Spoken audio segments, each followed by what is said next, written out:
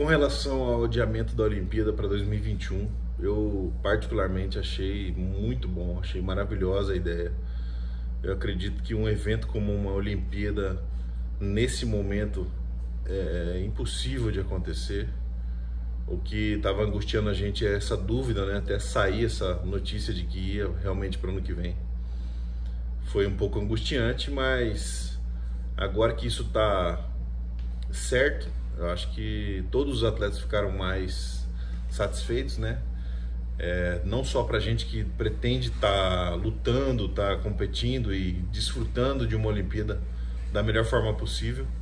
Acho que todo mundo fica mais tranquilo até pela, pelo público, né? Que quer assistir, a minha família toda, por exemplo, praticamente toda já estava com passagem comprada e hotel comprado, meu filho, minha esposa.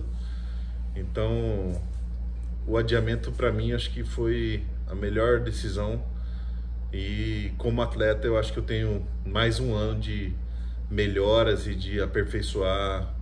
A gente sempre precisa aperfeiçoar, sempre precisa melhorar alguma coisa e na minha visão eu ganhei mais um ano para isso. E eu acho que pode ser o diferencial para uma medalha olímpica vir, se Deus quiser, a primeira medalha olímpica de Mato Grosso.